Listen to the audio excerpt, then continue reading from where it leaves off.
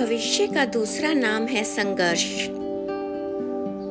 हृदय में आज इच्छा होती है, वो पूर्ण नहीं हो पाती। हृदय भविष्य की योजना बनाता है।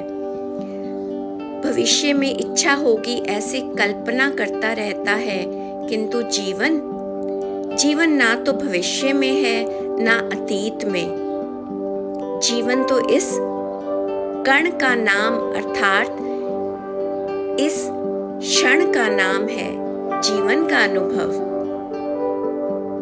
और हम ये जानते हुए भी इतना सा समझ ही नहीं पाते हैं। या तो हम बीते हुए समय को स्मरण करके अपने आप को घेर लेते हैं, या फिर आने वाले समय की योजनाएँ बनाते रहते हैं, और जीवन बीत जाता है। सत्य यदि हम हृदय में उतार लें कि ना हम भविष्य को देख सकते हैं, ना ही भविष्य निर्मित कर सकते हैं। हम तो केवल धैर्य और साहस के साथ भविष्य को आलिंगन दे सकते हैं, स्वागत कर सकते हैं। तो क्या जीवन का हर पल जीवन से नहीं भर जाएगा? स्वयं विचार कीजिए। Thanks for watching